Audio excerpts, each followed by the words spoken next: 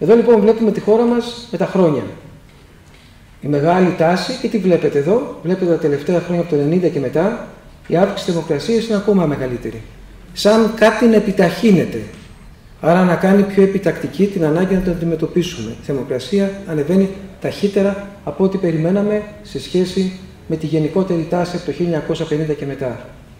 Και αν δούμε ένα, μια μικρή ανάλυση αυτής της θερμοκρασίας και τη δούμε για την περιοχή της Χίου, γιατί πάντα υπάρχουν στοιχεία, βλέπετε την αντίστοιχη αλλαγή από το 1971 μέχρι το 2020. Έχουμε μια αύξηση θερμοκρασίας 1,5 βαθμού Κελσίου. Το μπλουζάκι που φοράνε οι μαθητές είναι σωστό. 1,5 βαθμούς είναι η αύξηση θερμοκρασίας στοιχείο μέχρι στιγμής. Αλλά δυστυχώς η τάση, όπως βλέπετε, είναι αυξητική. Και αν το εξειδικεύσεις, για παράδειγμα στοιχείο, εδώ μια αντίστοιχη μοντελοποίηση για το μέλλον, βλέπετε πόσο θα αλλάξει η θερμοκρασία σε σχέση με την προβιομηχανική περίοδο για το νησί της Χίου σε διάφορες περιοχές από 1 έως 2,5 βαθμούς Κελσίου. Αυτή η πληροφορία είναι άχρηστη αν δεν τη μεταφράσει σε κάτι πρακτικό. Δηλαδή πόσο επηρεάζεται η μαστικοκαλλιέργεια από την αύξηση θερμοκρασίας; Πόσο θα χάσεις παραγωγική ικανότητα σε γεωργικές εκτάσεις ισχύου.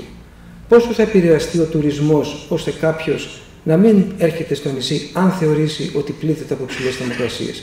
Ξέρετε, τις προηγούμενες μέρες δημοσιεύτηκε μια έρευνα του Ευρωπαϊκού Οργανισμού ε, Τουρισμού που λέει ότι το 30% πλέον των ερωτώμενων πιθανών τουριστών, επισκεπτών, θα διαλέξει μια περιοχή αν δεν είναι εκτεθειμένη σε ακραία καιρικά και κλιματικά φαινόμενα.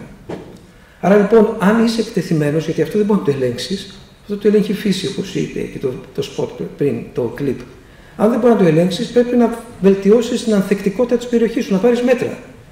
Να χρησιμοποιήσεις καλύτερα κτίρια, τα οποία είναι πιο ενεργειακά θωρακισμένα στον καύσωνα. Να παρέμβεις στο γεωργικό τομέα ώστε να τροφοδοτήσεις με περισσότερο νερό τις εκτάσεις, αν σου λείπει το νερό. Να κάνεις αυτό που λέμε την προσαρμογή να προσπαθήσεις να μετριάσεις την επίπτωση, έτσι ώστε να είσαι ανταγωνιστικός σε ό,τι κάνεις.